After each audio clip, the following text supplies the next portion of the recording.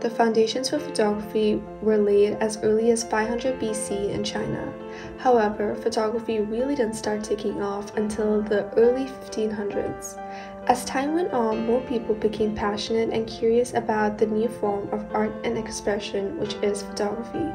Word spread and popularity increased as famous philosophers and intellectuals discovered progressive ways to preserve history and communicate millions of stories about people, places, and significant events.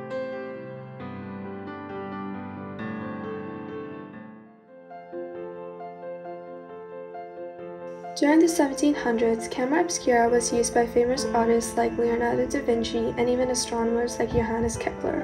A camera obscura is a darkened room with a small hole on one side of a wall.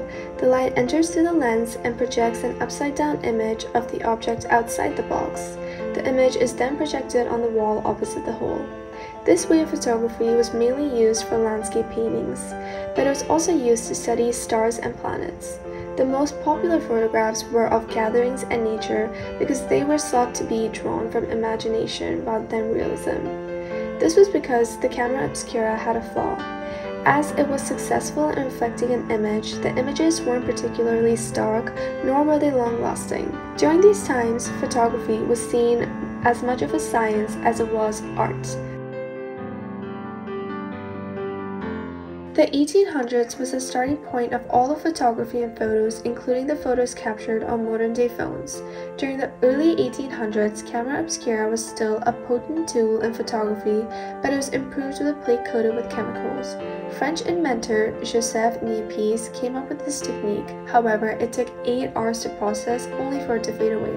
In 1839, Louis de Daguerre was finally able to accomplish what many failed to. He brought the processing time down to 30 minutes by projecting an image onto a sheet of copper that was plated with silver. This method was called the daguerreotype and became increasingly popular over the decades. It revolutionized the art industry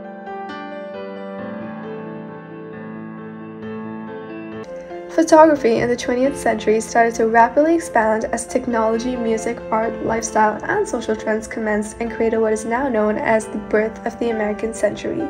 Everyone has heard of the Roaring Twenties, the Progressive Era to New Era, and the Great Depression. Photography has been at the forefront of capturing some of the most significant moments in history.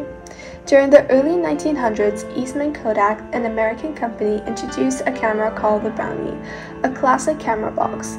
Photography was still very much a complicated, intricate process that was only branded to the upper class system of society until the Brownie. It was marketed for $1 and Kodak sold 100,000 brownies in the first year alone. In the early 1960s, soon after the invention of Polaroid instant color film, color photography brought a whole new depth to art and allowed artists to rediscover photojournalism by inventing their personal style and showing their personality and individuality. The photos taken during the most revolutionary times in American history soon become a vital part of documenting the world. Famous artists like Alexander Rodchenko, Albert Wetzel, Steffi Brandl, and Ruth Harriet Louise thrived during the Roaring Twenties. Then artists such as Dorothy Lange, Walker Evans, Russell Lee, Roy Stryker, and many more arose during the Great Depression. These photos are a reminder of everything history was and hope for what the future could be. With the development of cameras and phones, photography became more reachable and attainable to common people. Current popular brands are Canon, GoPro, Panasonic, Sony, etc. The photos taken on these cameras are used for a wide variety of things like capturing nature, landscapes, portraits, events slash gatherings, and a compilation of everything photographed in history.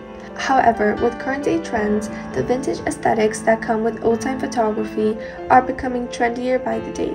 People have started using reusable cameras and film cameras to attain the classic 90s appeal to photos. Time and again, photography has proven to entail thousands of stories through images. It connects people to places and memories, reminds us of our origins, history, and progressive growth of human curiosity.